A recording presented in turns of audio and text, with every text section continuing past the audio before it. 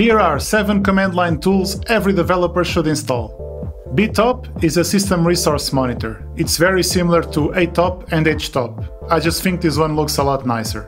It provides a great overview of usage and stats for the processor, memory, disks, network, and processes.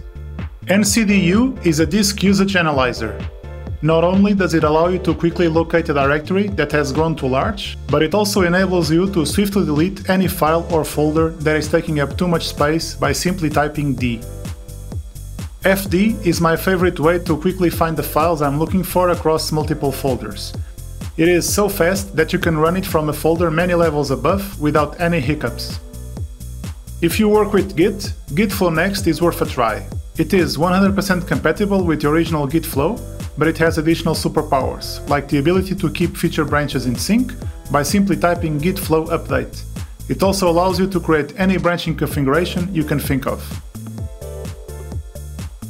To quickly navigate to any frequently accessed folder, I use Z. I rarely have to type out the full paths anymore.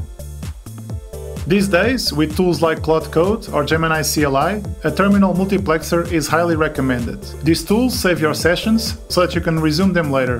While Tmux is probably the most popular option, I personally prefer Zellij. It allows for incredible customization and it also delivers great results right out of the box. Finally, no list would be complete without a tool for managing multiple runtime versions. I use ASDF to manage my Node.js, PHP, and Ruby installations, and a lot more are supported.